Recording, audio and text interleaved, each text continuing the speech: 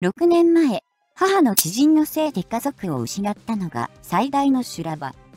6年前、母が膵臓癌で亡くなり、これだけでも最大の修羅場だが、葬式をした。両親はキリスト教なので、当然葬儀もキリスト教。私は、母から生前、お母さんは、癌でもう長くないと言われていたが、当時からかなりの親不孝者だった。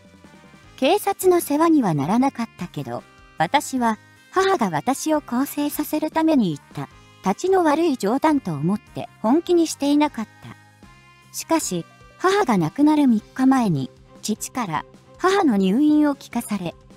万が一のために覚悟しておけと言われ、初めてそれが本当だったことに気づいた。それからは、藁にもすがる思いで、母が助かることを祈ったが、3日後、正直後悔したよ。癌が本当だと知ってたなら、もっと親孝行。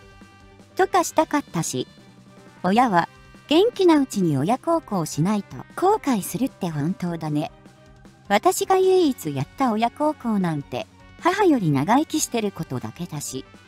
母が亡くなる1年前にも最大の修羅場という目にあったけど、訳あって電気ガス水道が止められ、避難所に住んでいた。それ以上に辛い思いをするとはね。火葬場で落ち込んでる私を見て、母の知人が話しかけてきた。掃除機中の遺族に話しかけるなんて非常識と思った私はその知人を罵倒していると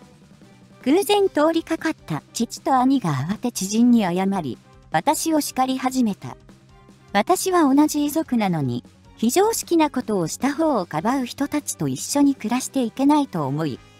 母の一周期が終わると父と兄に絶縁宣言をして家を出た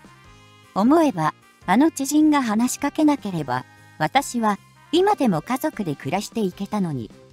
これが私が33年間生きていて体験した最大の修羅場だ。